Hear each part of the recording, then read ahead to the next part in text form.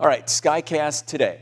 Looks like a relatively quiet day. Winds die down a bit. There's the chance of rain as we head through the night tonight. And then tomorrow, here comes the system with the wind. We're going to see the rain rolling in, and it's going to be rainy uh, tomorrow afternoon, especially going into tomorrow night. Look at it, just go and go. So, as far as today, enjoy it while you can. 67, looks like a dry day. Tonight, that chance of rain in 50. And as far as tomorrow, rain becomes more widespread. Going to be cool, only 55. Ugh, with wind too. And that's going to continue on Tuesday night. That's going to go through Wednesday as well, showery out there. And then after that, just a chance of morning rain on Thursday. By Friday, it looks like most of that's out of here, and another chance of rain this upcoming weekend in 70. So, Emily, enjoy today while you can because tomorrow and Wednesday is going to be hmm, not, not so nice. Quite the change.